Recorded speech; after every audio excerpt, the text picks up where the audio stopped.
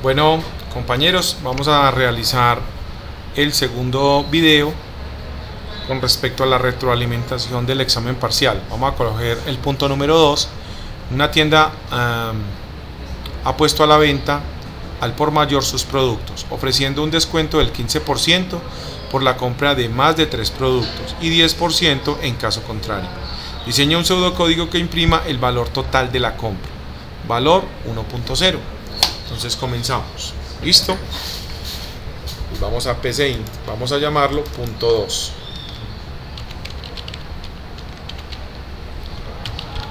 Punto 2. ¿Correcto? Vamos entonces a definir variables. ¿Qué variables necesitamos? Entonces necesito el valor del producto. Necesito el valor del producto y necesito que necesito finalmente yo necesito el total de la compra entonces yo necesito el valor del producto. Necesito saber cuántos productos compro o sea número de productos y el valor del producto. Listo.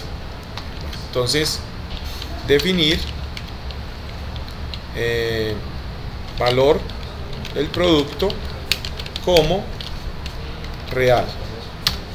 Y definir lo hago real porque de pronto el valor es muy grande, entonces para que me acepte números grandes. Y definir el, la cantidad de productos. Cantidad productos. Esa sí tiene que ser entero, ¿cierto? Tiene que ser entero. Listo.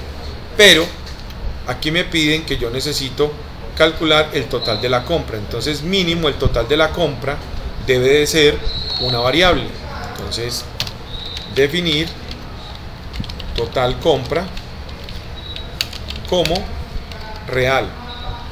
Recuerden que coloco real es porque eh, es porque de pronto mm, me, dan, me, da un número muy grande la, multiplicación o, el valor o el total de la compra. ¿Listo?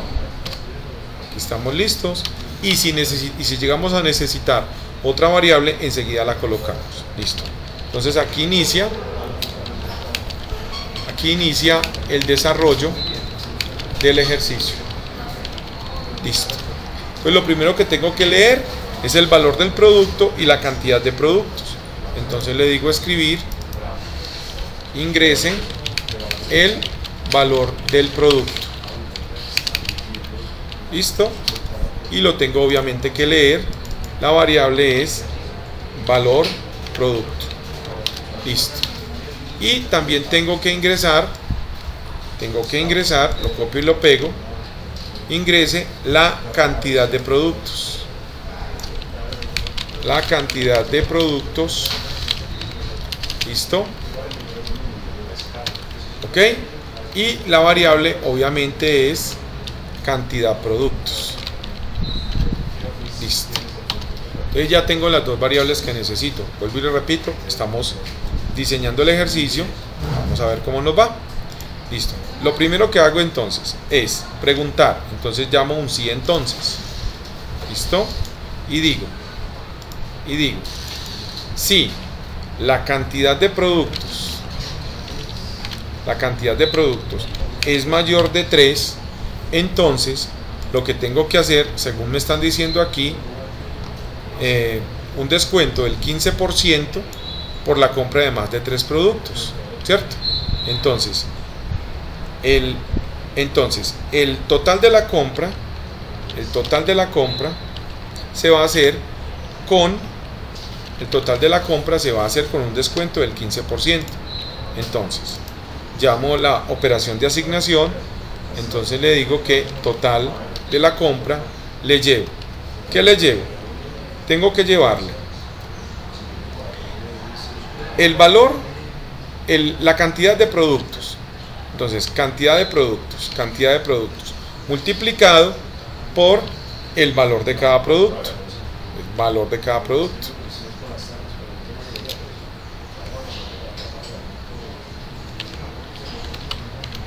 Correcto.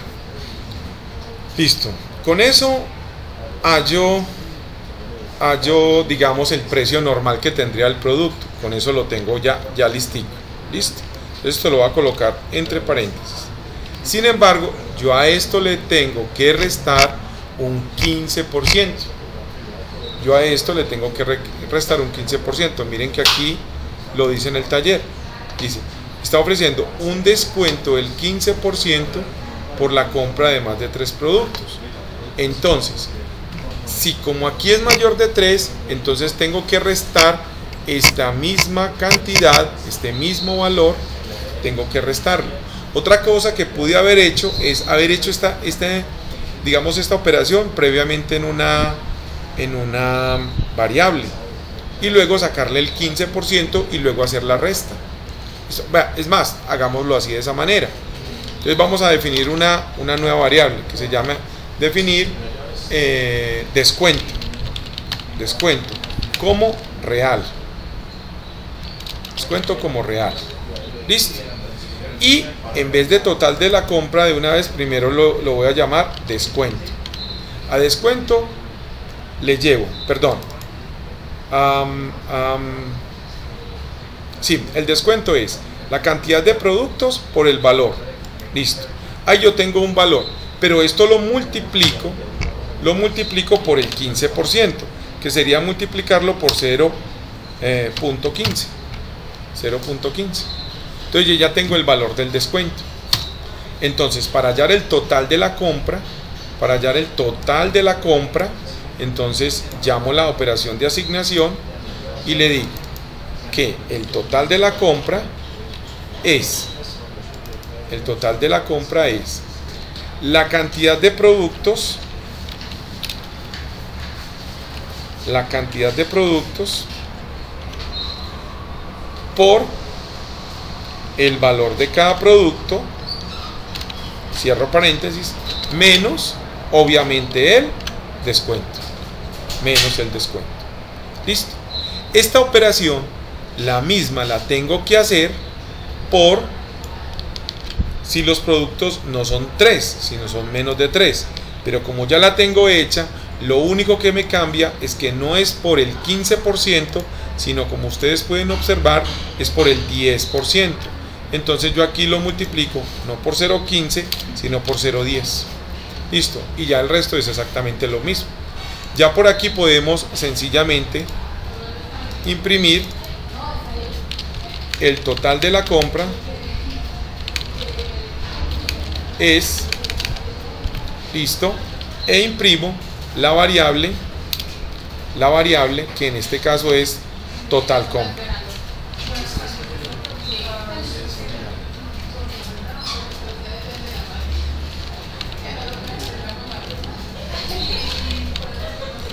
Listo.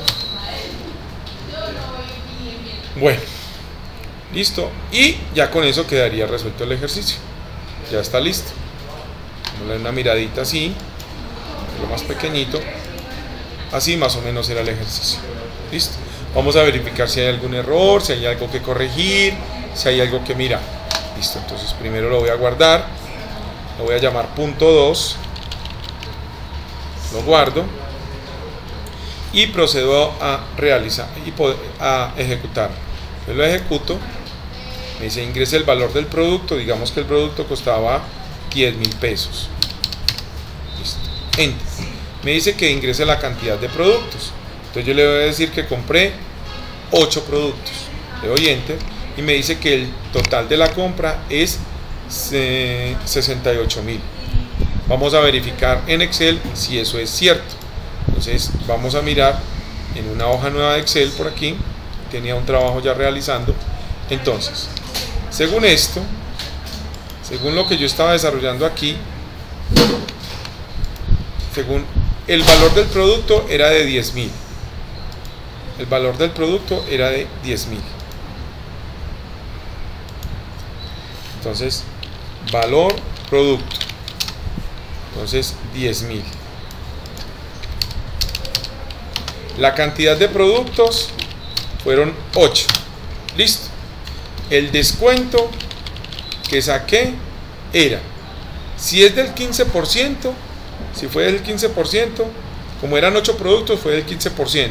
Entonces cojo este valor y lo multiplico por la cantidad me daría 80 mil. Pero a esto le tengo que sacar el 15%.